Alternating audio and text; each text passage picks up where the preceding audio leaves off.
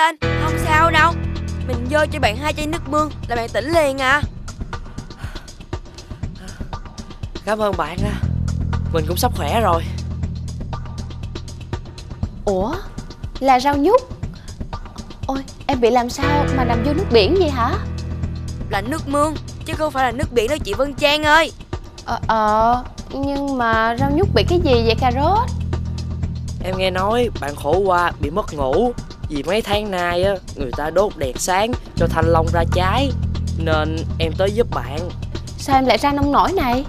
Thì bạn ấy ở dưới nước mà Đi qua nhà khổ qua Xong về lạc đường Mất nước Nên ra nông nổi vậy nè. Mà em cũng khỏe rồi Tại bạn cà rốt lo quá Nên bắt em nằm ở đây nè. Ý Bà hồi nãy rau nhút nói với chị Là rau nhút có tác dụng chữa mất ngủ hả Dạ đúng vậy chị Trang. Ừ Có thiệt không vậy? Em đừng có thấy chị dễ dãi Rồi em nói dụ cho chị tin nha. Sao lúc nào MC Dân Trang cũng nghi ngờ tụi nhỏ nhà đốc tật khỏe vậy ta? Xin chào Dr. Khỏe. Đốc tơ khỏe Con khỏe rồi. Không cần phải truyền nước nữa đâu. Thiệt hôm đó. Không tin á Thì xem con nè. Hay hay Tế cà rốt coi như xong nhiệm vụ rồi nha Dr. Khỏe Con đi đây ừ, Bạn cà rốt dễ thương quá đi Chị cảm ơn cà rốt nha Mà Dr. Khỏe nè Vân Trang thấy là Dr. Khỏe Cưng chiều rau nhút dữ lắm luôn đó Chăm sóc tận tình luôn kìa Vì rau nhút vừa là loại rau ngon, bổ Mà còn là vị thuốc quý nữa ừ, Nói như Dr. Khỏe Không lẽ tin đồn rau nhút Có thể chữa được mất ngủ là có thật hả Ờ chị Văn Trang nè. Thôi thôi thôi thôi thôi. Rau nhút đừng giận Tại MC Dân Trang không biết thôi. À, Để đốc tật khỏe giải thích cho Dân Trang hiểu nè. Ờ phải rồi. Dr. Khỏe nói đúng đó. Em đừng có giận chị mà.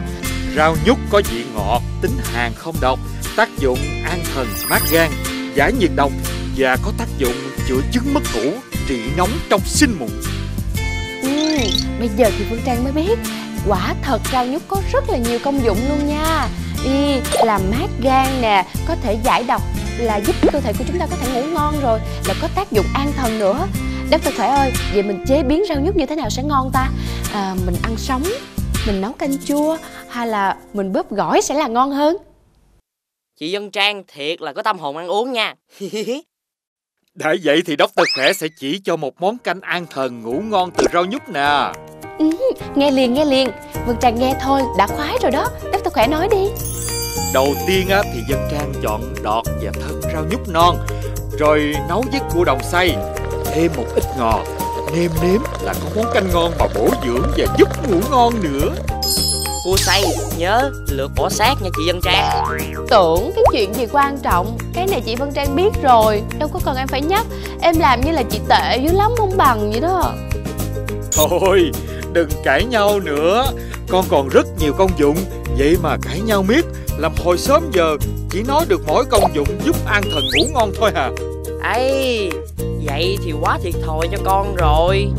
Lần sau cho em lên tivi nữa nha chị trang. Không Chị không có hứa với em đâu. Em đang nỉ chị đi. Ừ, năn nỉ mà năn nỉ mà.